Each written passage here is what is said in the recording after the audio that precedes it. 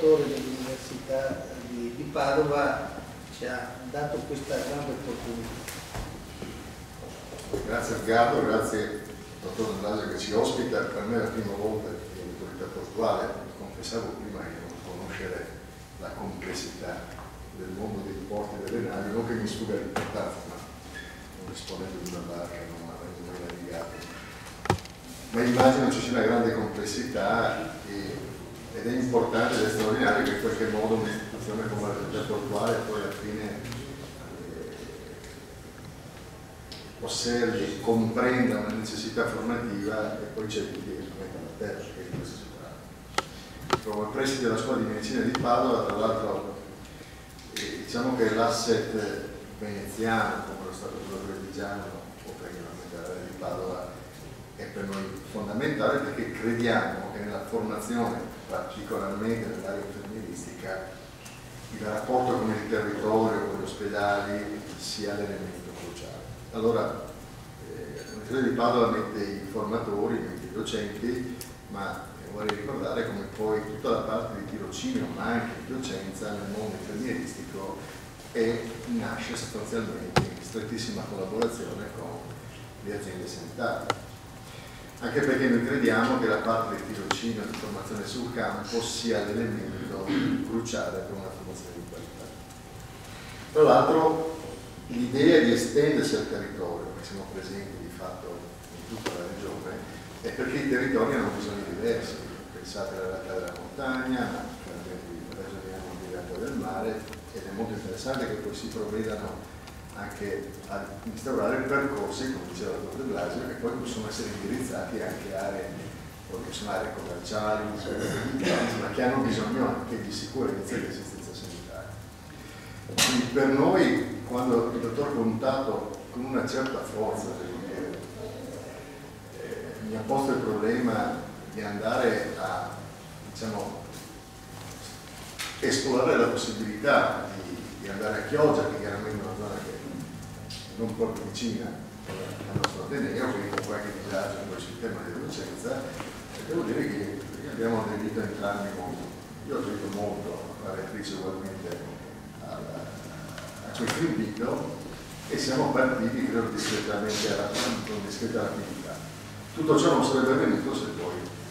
appunto l'autorità portuale, l'autorità, l'azienda sanitaria non avessero poi provveduto a quella che è la criticità più grande oggi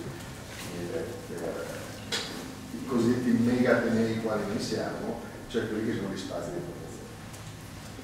Quindi, ecco, poi non voglio togliere il ragionamento all'assessore, ma proprio si anticipo il fatto che se c'è un'emergenza in sanità, ci sono i vostri vedi che mancano i medici, i quali da di su,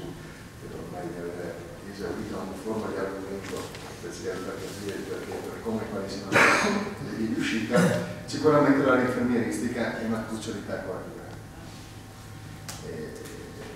vorrei che voi sottolineaste, se possibile sempre, che se certo c'è un problema sulla vocazione per l'area sanitaria, questo è più grande che per i medici per l'area infermieristica, che in realtà è un lavoro straordinario, importante, sono personali, è il personale che passa più tempo con i cittadini quello che ha più bisogno di formazione non solo tecnica e pratica ma anche di carattere proprio relazionale.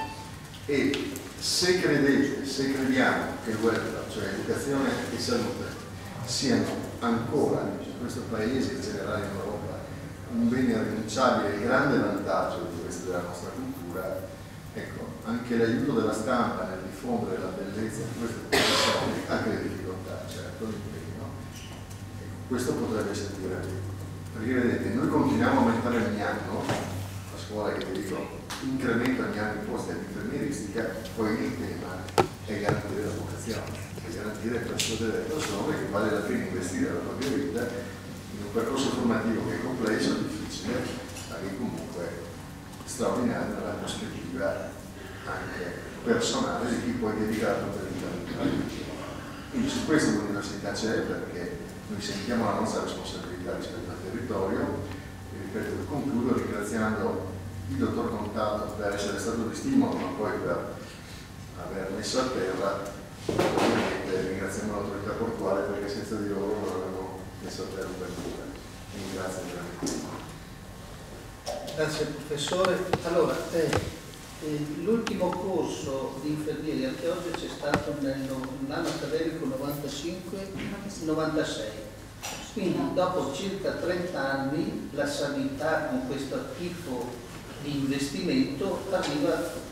ancora nella, nella città di Chioggia che è la settima città del Veneto in termini di popolazione che vede delle peculiarità eh, significative. È una città turistica, una città portuale, è una città che ha un comparto pesca importantissimo. Penso che il fatto di, di puntare anche sulla, sulla formazione e sulla qualità della formazione sia un investimento eh, giusto per il territorio. Quindi darei la parola al sindaco di Chioggia che anche in questo caso ci è stato d'aiuto, ci ha supportato e ci è sempre stato vicino in tutte le vicende di questi anni. Sì, grazie direttore, buongiorno a tutti. Beh, io porto i saluti ovviamente della città di Chioggia, dell'amministrazione comunale e sono qua per ringraziare in primis il direttore generale con cui ci lega ormai un rapporto anche di amicizia perché abbiamo collaborato insieme in quei momenti difficili del Covid e ancora una volta credo che oggi abbia vinto la squadra. Una squadra che, che è stata impegnata nel periodo appunto del Covid nell'affrontare l'emergenza di punti tamponi, anche vaccini e ovviamente abbiamo, in dieci giorni abbiamo creato un punto tamponi presso una zona dell'autorità portuale che c'era bisogno di alleggerire la pressione mi ricordo quei giorni che c'era proprio a 30 metri dal pronto soccorso di Chioggia. E proprio per una questione professionale ho detto non possiamo eh, ovviamente rischiare di avere il pronto soccorso invaso dalle persone che aspettavano il turno per fare il tampone, tanti bambini, anziani. In, veramente in dieci giorni tra ASL, Comune, Protezione Civile e l'autorità portuale che da subito veramente credo che stia lavorando per la città di Chioggia, non solo pensa alle crociere, a tutta l'attività marittima, ma con l'amministrazione nostra, con l'autorità portuale, con l'ASL e anche con l'Università di Padova che ringrazio perché chiaramente ha creduto nell'investimento presso la nostra città, presso i locali ovviamente dell'ASPO, l'ex ASPO diciamo, eh, vuol dire che c'è comunque un ragionamento fatto assieme. Per me da sindaco creare, eh, avere la possibilità in città di avere diciamo 50 posti come primo anno legati a quella che è la formazione di questi infermieri che poi lavoreranno nelle corsie degli ospedali e non solo, ad aiutare la, ad aiutare la popolazione, le, le, persone in difficoltà, detto bene, che ci vuole anche una vocazione, perché non tutti i mestieri sono mestieri e basta, per arrivare a fine mese a prendere lo stipendio, ma credo che quando uno lavori eh, sul pubblico, parlo degli infermieri, dei medici, degli operatori socio-sanitari, delle forze dell'ordine, ci, deve essere comunque una vocazione, una passione per questo mestiere. Eh, credo che i 50 diciamo, nuovi infermieri che inizieranno la loro carriera nella nostra città, per me ovviamente è un orgoglio, è una, una offerta formativa importante per la nostra città, sapere che questi infermieri potranno fare anche il tirocinio nel nostro ospedale di Chioggia dove l'ASL e la Regione del Veneto stanno anche investendo molte risorse, parliamo anche di nuovi premiali che sono arrivati in questi anni, al di là magari di qualche polemica che qualcuno fa, ma credetemi che il direttore generale in primis sta lavorando per creare dei reparti nuovi anche nella nostra città, sono arrivati dei primari, ripeto, eh, penso che il reparto anche di cardiologia sia un reparto veramente d'eccellenza nella nostra città, poi le difficoltà sono tante, quando si amministra non è semplice e che sia, delle volte le persone mi chiedono ma questo, ma quello, cioè non è che sia tutto dovuto, le cose da affrontare sono tante, le emergenze sono tante, le difficoltà sono tante, però ripeto, con questo gioco di squadra ancora una volta abbiamo dimostrato che amministrare con senso di responsabilità il bene pubblico, la cosa pubblica, i risultati ovviamente si raggiungono. Con l'autorità portuale non solo abbiamo lavorato sulla crocieristica in cui la città di Chioggia crede molto, in cui gli operatori turistici ed economici della nostra città ringraziano sempre perché ovviamente nella nostra città arriva un nuovo tipo di turismo turismo che prima Chioggia non aveva, se non le navi diciamo, commerciali, però con questo corso di laurea per me eh, stiamo veramente iniziando un percorso fantastico per la nostra città e poi non dimentichiamoci che tanti ragazzi di Chioggia che stanno facendo anche i corsi di infermieristica sono pendolari. Ecco, io conosco ragazzi che vanno anche a Rovigo a fare il corso di infermieristica, ho anche un amico che si è laureato da poco, mi ha detto Mauro se ci fosse stato questo direttore generale prima, questo presidente dell'autorità portuale, questo sindaco all'Università di Padova, probabilmente avrei fatto questi tre anni a casa non avrei fatto il pendolare, non sarei stato costretto a dormire fuori. Adesso 50 ragazzi di Chioggia e perché no anche